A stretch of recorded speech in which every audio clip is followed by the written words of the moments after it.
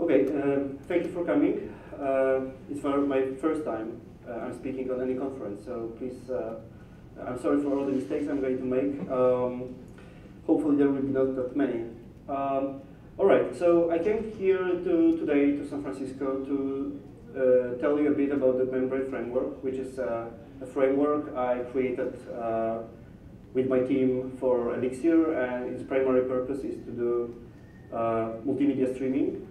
It's not a domain that is normally associated with, uh, with Elixir or any high-level languages. Normally, when you think multimedia, you think something low-level, so it has to be performant. But what we have found out is that uh, there are plenty of use cases where you would like to embed some um, multimedia transformation into your application uh, without escaping the domain of Elixir that you probably use for core of your app. That was the case uh, in the in the product I was building. Um, um, I'll tell some details maybe later, but maybe um, maybe a few things how I got to this point. Um, as was mentioned um, uh, by the host, I used to work in media. Uh, beyond my uh, long-term interest uh, and engagement in IT, and I used to work in media for many years. I used to work in so-called legacy media, it, that still exists, um, and um, and I used I spent a fair amount of time in TV, uh, and that was Polish national TV, uh, and in Europe the, the, the state television has much higher importance than here. And then I spent quite a lot of time in radio, and I founded a radio station that, that was kind of cult radio station in the city where I live. And um, after that, that journey started, because that was kind of a journey that wasn't a plan for life for me, uh, I decided to merge all this, all those two areas. I, I had both the, enough experience in IT to understand how old school is the approach to, to, the, to the hardware and software in media and how to do this better. So I founded a company called RadioKit. Uh, it was supposed to uh, make a, a, SaaS platform for radio stations. Essentially, the idea was that if you, if you have this, uh, you, you, can, you can imagine this studio in the radio where you have a mixer like, like this, but, but bigger. You can replace all that with piece of software. So you can stream to the cloud, you can mix all this in the cloud, you can make like tons of setups and configurations and all that obviously real-time, low latency. Uh, it has to work 24-7 because if it doesn't work, the radio does not broadcast, and so on and so on. And then Elixir was something super fresh, uh, but I decided to give it a try. The, the RadioKit is still operating, it's not evolving, it's kind of a frozen project, but there are multiple radio stations uh, broadcasting both online and in the FM and DAB+, which is also terrestrial radio but uh, digital. Um, but the company itself was kind of acquired by Software Mansion, which is a consultancy, consultancy uh, based in Poland, which hires almost 50 developers, and we serve mostly startups from San Francisco and New York. So, um, so we still do a lot of Elixir work, but we decided to take what was the, the core, the, the engine of the, of the RadioKit, uh, extract it, prepare it for, for, for being more flexible, so we can do much more than just simple audio streaming, and this is Membrane. Uh, Membrane was released more than a year ago, but it's in production for, I think, two years already. It's still evolving, uh, it's still young. There are many features I'm going to talk about that are still not implemented fully or they still need some tweaking, but generally speaking, what is the problem with multimedia streaming and why we have decided to, to make another framework for that? Um, and the problem with, the, with multimedia is that if you have the simplest possible example, you have a hello world of multimedia streaming. So you take some stream that let's say it contains a, a song. It's an MP3 file with a song. You want to decode it. So you can encode it again, let's say with lower bitrate because, I don't know, you want to keep it on a mobile device which has limited storage. And then you want to output it somewhere, so like store it or send it somewhere. It looks pretty simple, and if you are not into multimedia, you might have imagination that it is simple. But it's not. Like, the problem with multimedia is that there is like if you have in, in, in let's say general development, general de software development, you have areas you can split like front and back end, and you can be a front end developer not really understanding what happens in the back end. Obviously, I I don't appreciate that, but you know this is how work works. Uh, you can't really do this with, with, with multimedia. You have to be full stack from day one. It's, it's really hard. Why? If we take such simple pipeline like this, um, what can go wrong? First of all, any of these elements can, can have lower throughput than the others. Okay? We have to implement of back pressure, but this is this is trivial, right? But the decoder may fail, fail totally or partially because the, the data that comes to it may be malformed. This is especially important if you uh, capture the the, the, the, stream from the net and, and there may be some lags or something like that. Uh, the, the, the, data stream can be enriched by some metadata, and obviously there are tons of formats. Like, forget about standards here. If you take any uh, documentation for any metadata uh, uh standard, you, you will have to open a beer, like, immediately. Like, you, you know, you, you can't handle this sober. Like, uh, and obviously, the, the, you have plenty of implementations that are not always working according to the documentation and so on. Only in MP, MP, 3 you have like five ways to embed uh, tags, and obviously they are incompatible, and it, it, it's awful. The input stream can be possibly interleaved by different things that are related to the transport layer. So forget about everything you learned in the computer science uh, classes, uh, university, that you have to split certain things. You know, forget about this. If you have the simplest possible example, uh, like internet radio, uh, in the internet radio, the stream is uh, split into chunks, and these chunks have uh, length that is not aligned with the sound frames, and in these holes between, you can have metadata, which is different metadata if we have the same file, but not as a stream, but as a, but as a file. So you can quickly get into situations where transport layer kind of affects the how the data is encoded, and it's, it's I'm talking about you know MP3 file. Don't ask me about video. Uh, so it's not all that. The decoder can output different formats because obviously if you have a raw, so-called raw audio or raw video, the, the, un the undecoded one, the obviously there are plenty of ways how to store it in memory. And you might end up with uh, having this uh, signed 16-bit uh, little endian frames, which means that each chunk of sound, sound is stored as an integer, but you, it can also output a float, it can output a 32, bit, 32 bits, and so on and so on. And obviously, the stream is not annotated, so it's kind of like a raw byte stream, and you need to have an extra layer that remembers what is that. What is that. And then if you want to put this into encoder, it might happen that your encoder does not support particular combination of these parameters, so you have to convert that. Uh, and you cannot do this earlier than in runtime.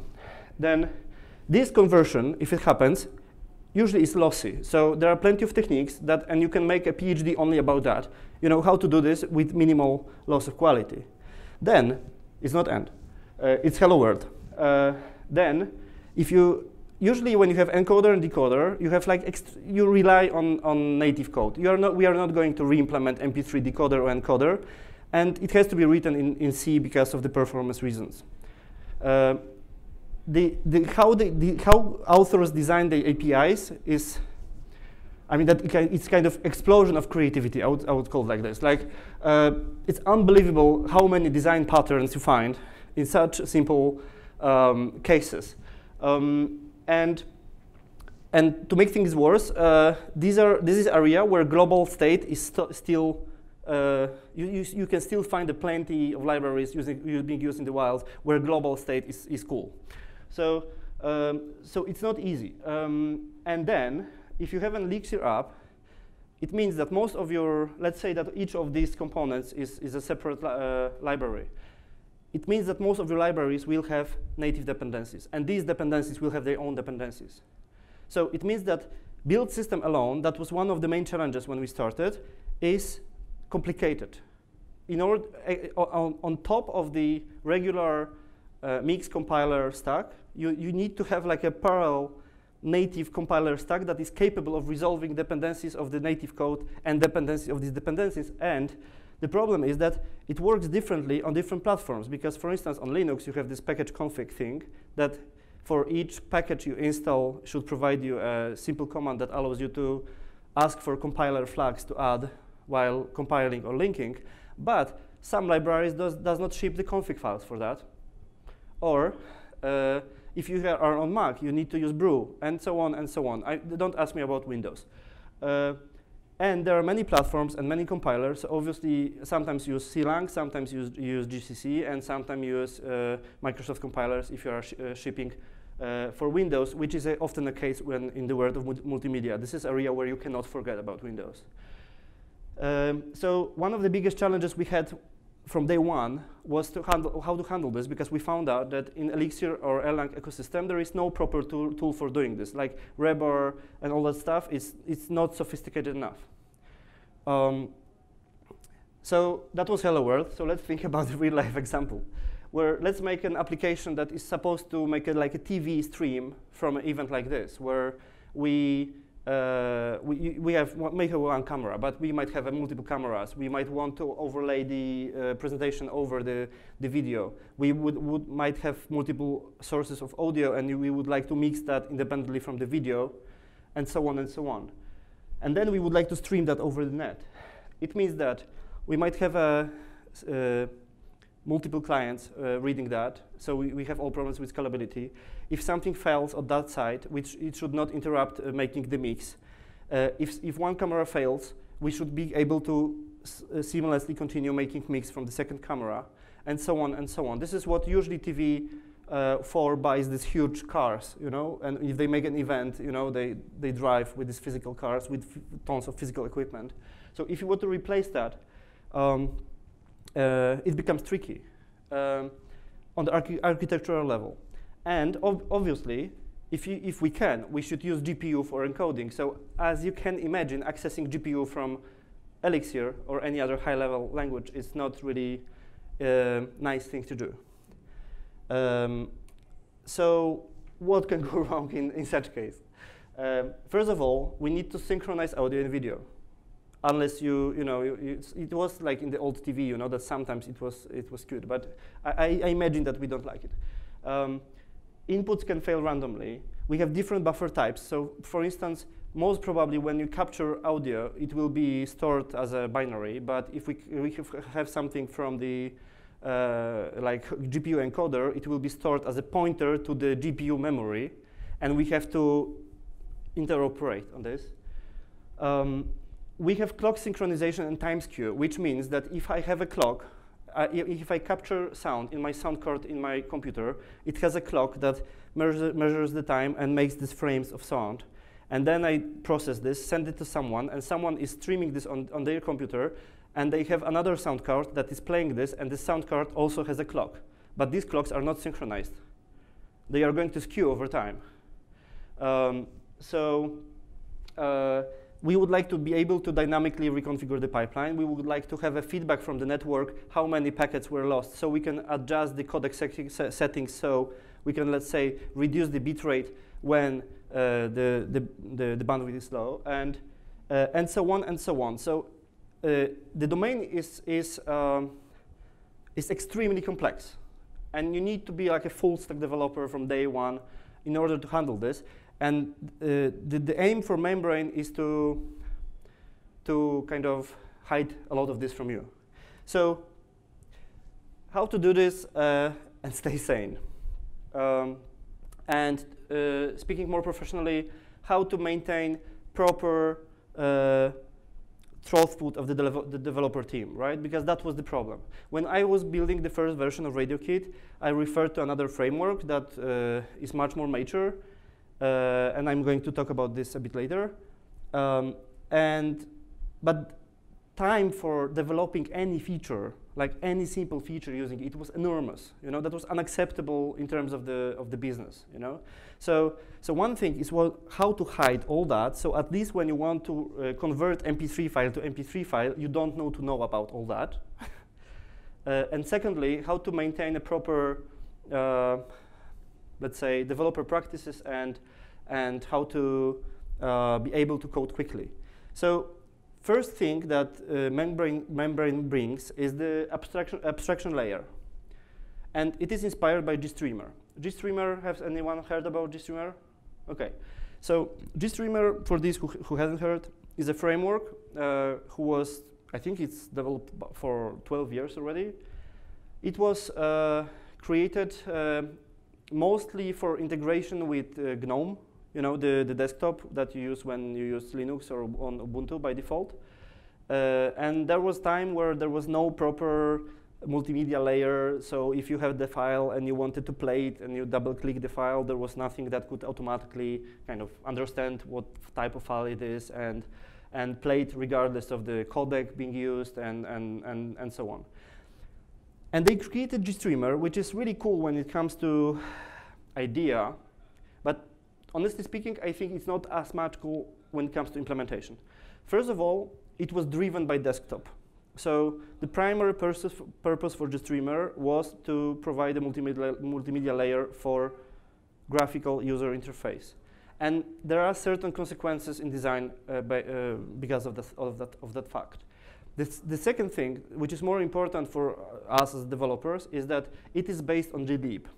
glib is kind of a standard library for C that is used in G GTK which is a toolkit, uh, widgets toolkit for GNOME. And all family of, li of, of, libraries that you use in this, in this, in this uh, graphical user interface. And it is a single-threaded uh, um, library that provides you a, a, very simple event loop, which means that essentially uh, if one operation that is supposed to be asynchronous blocks, everything blocks. So as you can imagine, this does not, it doesn't scale. And uh, there are many more pr problems with that. Like internally, it's based on poll. So you know, it's it's even if you write a software that does not block, you know, it's not going to handle multiple connections, and so on and so on. It was just not built for that purpose. And GStreamer itself has certain threading model that is kind of not using this, this main loop, but uh, I've observed many times in the wild uh, uh, applications that are deadlocking. Uh, it's really hard to debug. Uh, there are no proper inspection tools. You know, you, you, can forget about all the coolness we have in Elixir. So, uh, but we really appreciate how they created the abstraction layer. So what we did in Membrane is based on, on GStreamer in terms of concepts. And for those of you who do, does not know how it works, um, short introduction. Like we have this uh, simple hello world pipeline, and indeed it is called pipeline. This, this whole thing is called pipeline. And pump pipeline con consists of elements. And elements can be either source, filter, or sink. Filter is something that eats data and outputs data. Uh, source is just outputting data. Uh, sink is just uh, eating data.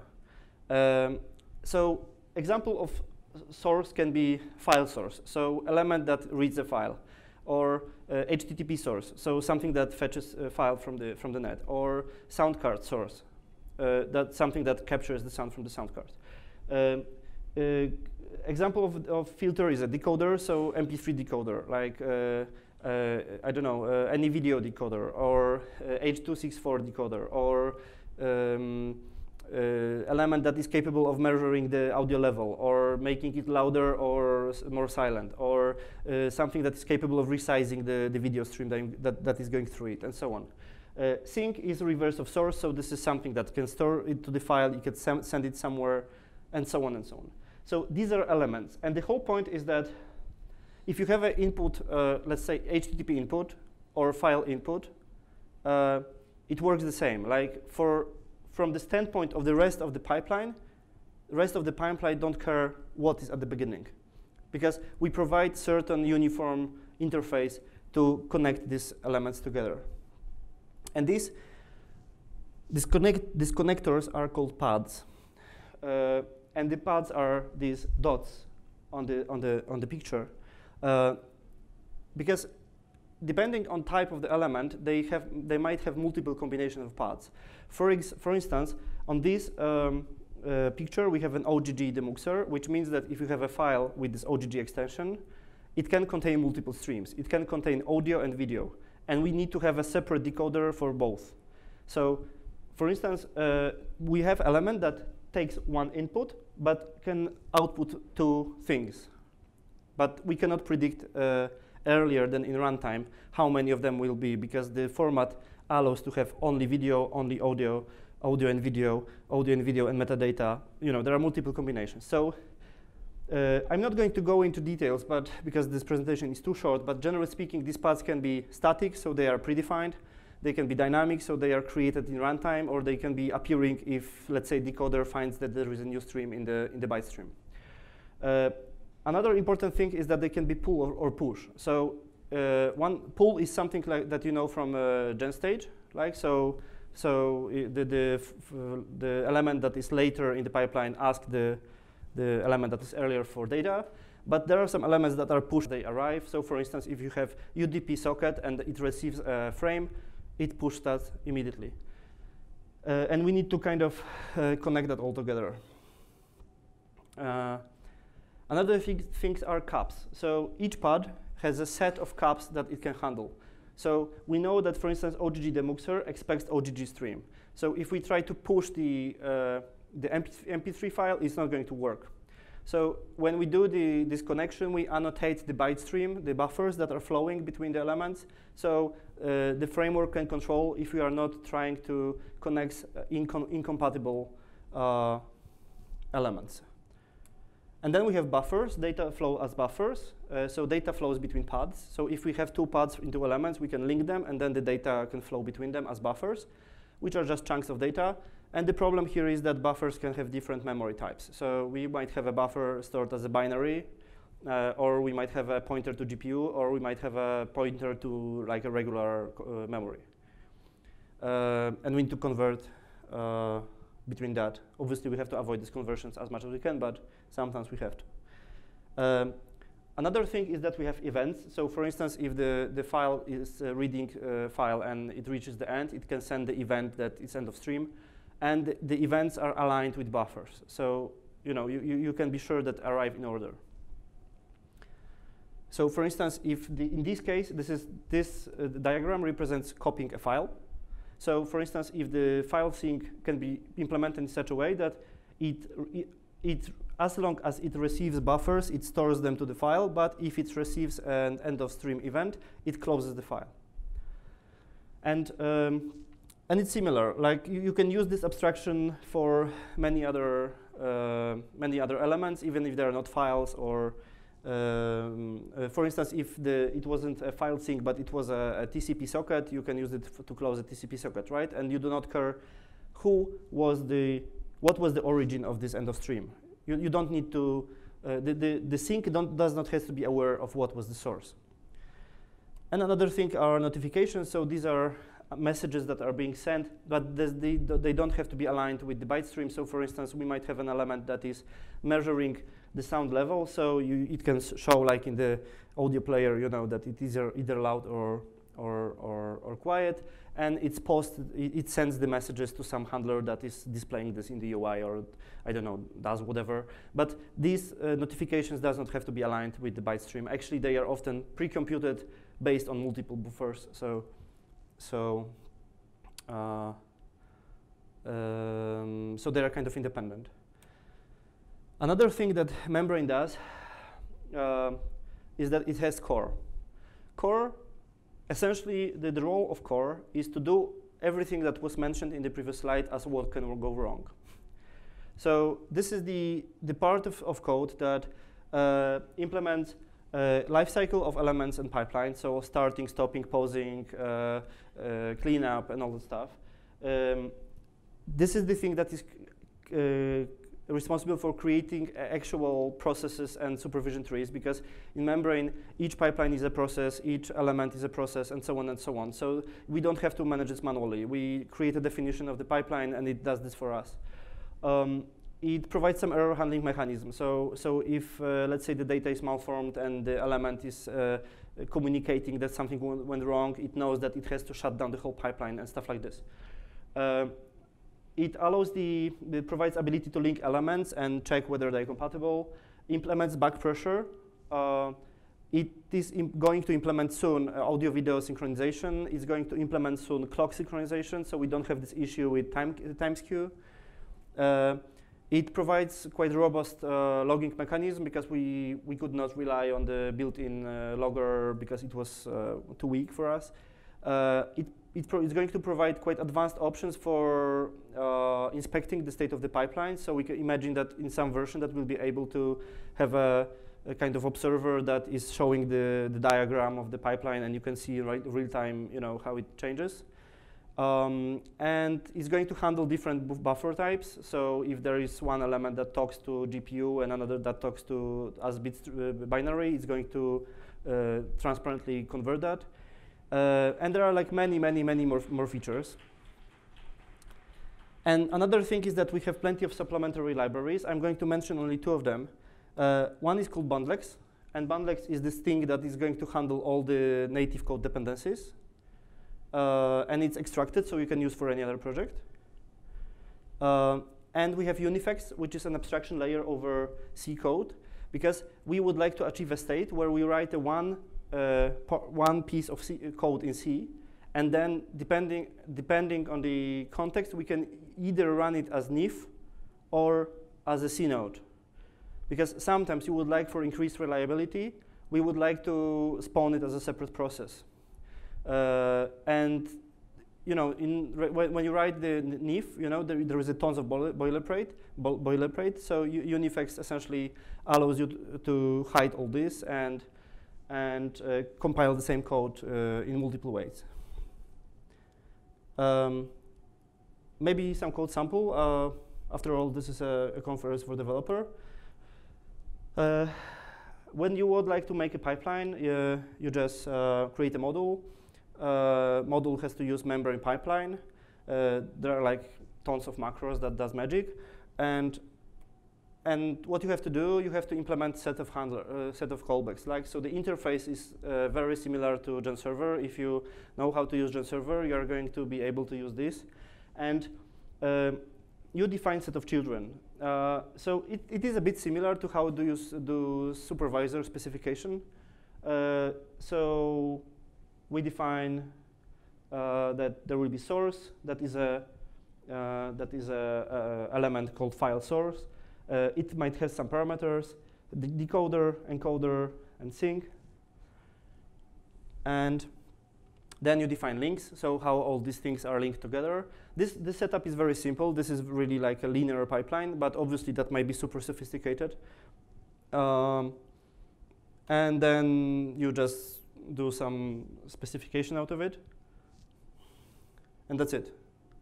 So, so th this is an attempt to um, to to make a, a framework that allows you to think about this, forget about all this mess I've, be, I've been mentioning uh, previously, and write a code that is more or less similar, that is really straightforward to write.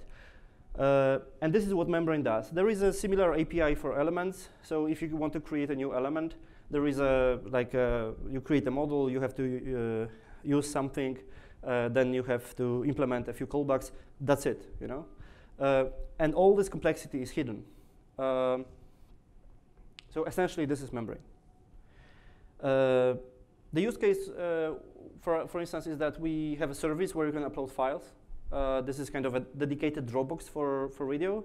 And while Phoenix is taking the, the data from the, from the browser, you can process, is, process this uh, in real time, right? So uh, we are transcoding all files that are being uploaded by the user, so we can ensure that files being stored in the system are in the same format.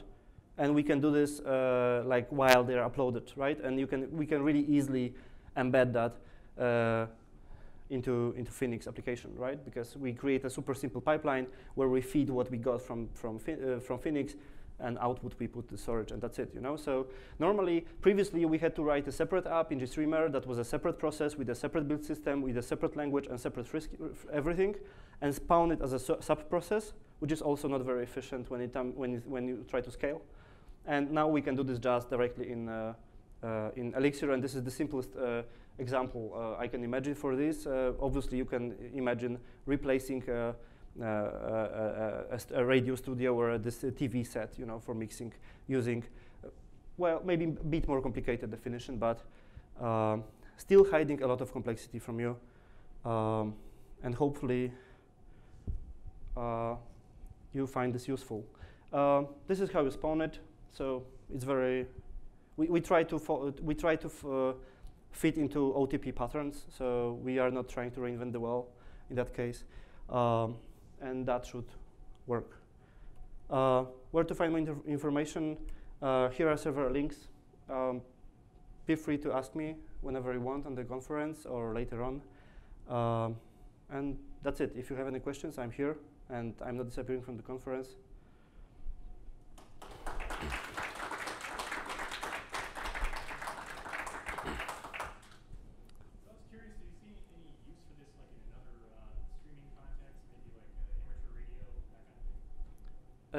So the question was, what, do they see any other context than the radio for this? Yes, for instance, we've been uh, recently in the software in Software Mansion. I mean the consultancy I'm running right now. Uh, we we do quite a lot of multimedia, and for instance, uh, before FaceTime implemented the this group video chat, we got a, we we were building this for for Silicon Valley startup that was doing an app that was capable of doing uh, multiple, like I think up to 16 or 22 people video chat rooms, uh, and membrane was too uh, young then for this. I think still it might be a bit too young, but uh, that is a perfect use case, you know, because then you have to handle a lot of networking stuff. Uh, you have to uh, do some pre-mixing, you know, so you know you don't expect every device to do the composition, and then you need to have something that is going through. One of the clients we are talking uh, uh, with now is a company that has a turn servers. So the servers you use when you use WebRTC, and you have two clients that cannot talk directly, so you have to route the traffic through the server. And he wants to embed membrane there, so he can do some processing while the traffic goes. So th these are cases.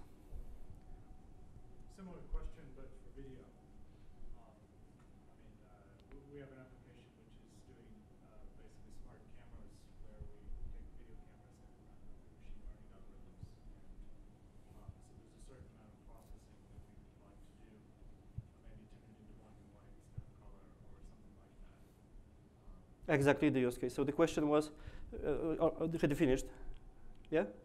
Yeah, okay, so the, the, the, the, case was that there is an application that is uh, feeding a lot of um, video streams and, and then uh, do some uh, like machine learning on this, right? And before we do this, we would like to process the video somehow, for instance, making black and white. Yes, this is exactly the case of membrane. So you can have the, this layer that is feeding the, the streams, that is pre-processing them, and then you might have your custom element. So when you because I assume that if your client is paying you for uh, making this app, uh, they are not interested in paying for generic things like feeding the, the stream, right? They are interested in this machine learning stuff. So essentially that means that you can take ready elements that are doing all the work like feeding, uh, transcoding, uh, resizing, uh, making black and white and so on. Currently not all, all of them are done because video was added to membrane later, but, but it's doable and then you focus only on writing your custom element that implements your custom business logic, and this element can be proprietor proprietary. Does it support splitting? So can I take the stream and take it in two places? Yes. And basically anything that GStreamer supports can be done? Yes, I mean that the architecture is very similar to GStreamer. We are younger than GStreamer, so plenty of things are not implemented yet or are in progress and so on. What, what is important? If uh, there is one thing that we are not aiming at, and GStreamer will be always better, is, uh, is the performance. Because you know you never can compare the Elixir app that is dealing with tons of data like this one with pure C code. But this is not the case for us. In, in like nowadays, given how cheap is the infrastructure, you know, it's easier to uh, to, to, to, to make more instances. And the, we believe that benefits of having that uh, written on higher level are uh, are bigger than cost of, of, uh, of lost performance. But, but I have to say that this is the limitation, but we are not aiming at, at competing with that on this area in GStreamer. This is actually what makes us distinct. Um, so yeah, but essentially you can do whatever you can do in GStreamer and more because uh, because thanks to seamless integration with Elixir and all the the the, the design patterns we have, and for instance embedding this into app that has a web server and having uh, I don't know WebSocket API that dynamic dynamically controls the pipeline and so on. It's much more easier to implement than when you had uh, like an external entity written in a separate technology and you have to create a set certain internal API to, to integrate that, and it becomes quickly uh, a mess to maintain. Do you have any estimate for the performance? I mean, is it fifty percent of, of C? I mean, that's sort of what you often do. Uh, there is no like like you, you can't really make this. You know, it's really different. It's, it's like it, it really depends on what you do with this uh, with the with the with the data.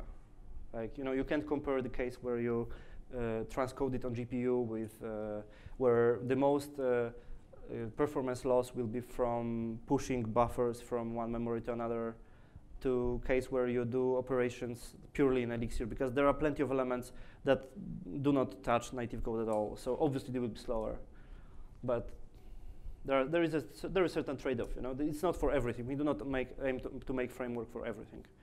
But the case like you mentioned, perfect case. I, I've heard people doing like uh, analyzing JPEG files in real time to extract EXIF information, and it was actually very competitive with C just because concurrency is very good.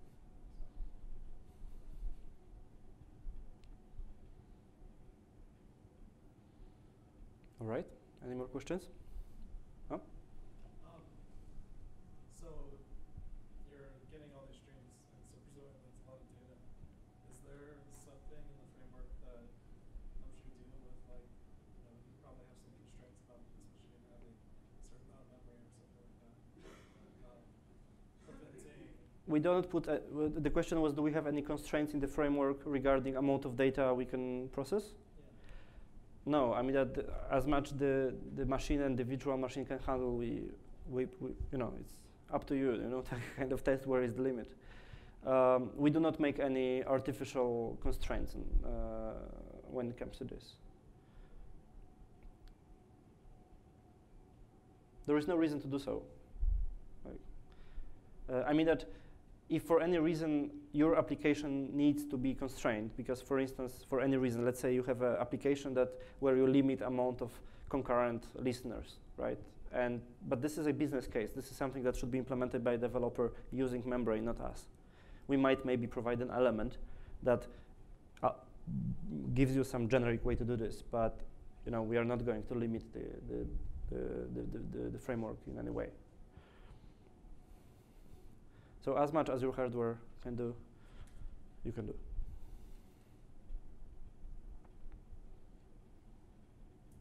All right, thanks.